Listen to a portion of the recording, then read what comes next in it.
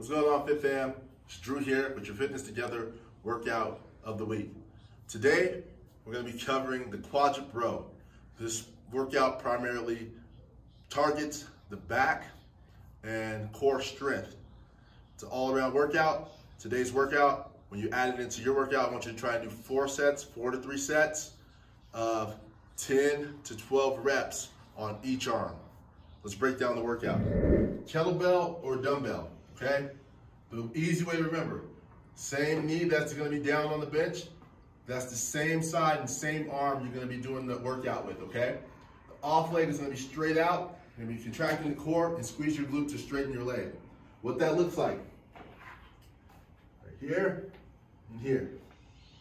Arm goes down, you can have, you can start with the weight on the ground, or you can start with it in your hand, whatever's more safe. Straighten that leg out, keep the back flat. Pick your dumbbell or your kettlebell up.